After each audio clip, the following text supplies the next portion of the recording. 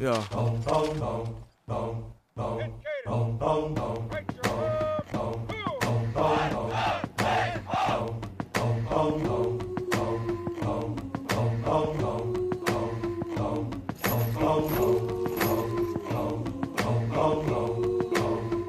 We at war.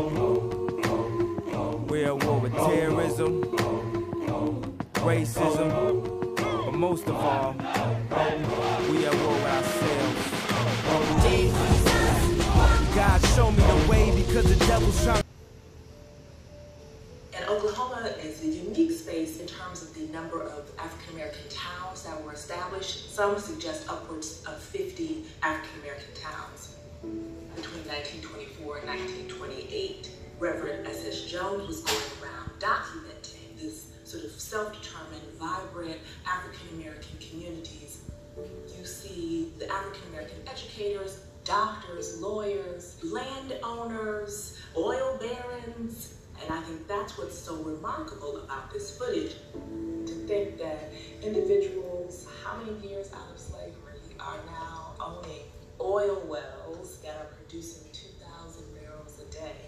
Is that not the ultimate American dream? Is that not the ultimate American story? It flies in the face of what I think some people consider part of African American history and culture. And I think that that was one of the things that Oklahoma and what S.S. Jones was really kind of showing is that, that African American history and culture is not a monolith. And in a way, it became kind of like a marketing tool to encourage individuals to migrate, to move there, that this is a place where you can live, you can thrive, and peacefully reside. There were still palpable racial tensions. There are lynchings, there is Jim Crow segregation, there's all of these things, and you still have an African American community or many communities that really speak to the fortitude resilience of black people in this country.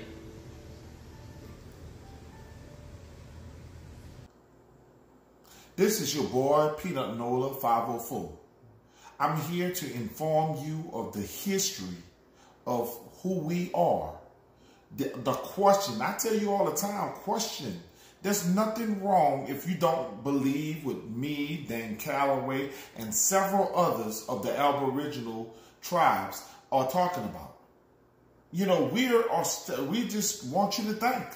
And basically, we want you to spread your mind of the notion that we are so-called African Americans. There is truth out there that, that needs to be gained. There are reasons why people do not, the so-called Caucasian people that's running around are out here trying to keep you from learning the truth. But I am not going to stand by and listen and, and, and, allow people to change the narrative when it comes down to so-called African Americans that are aboriginal to this land. We are here and we are strong and we're here to stay.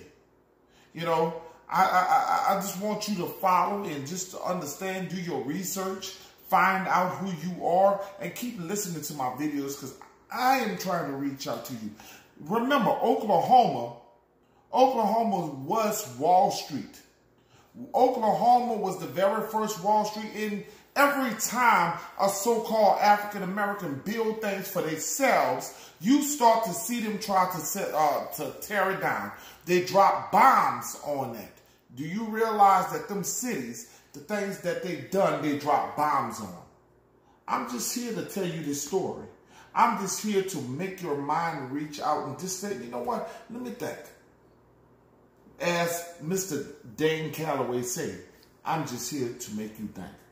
Press a lot. Uh, get in a fucking chest, nigga.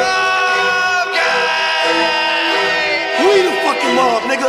These niggas bleed different. We don't bleed, nigga. We make niggas bleed blood.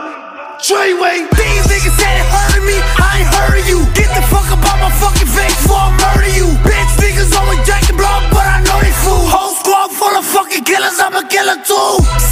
Shots, shots, shots, shots, shots, nigga.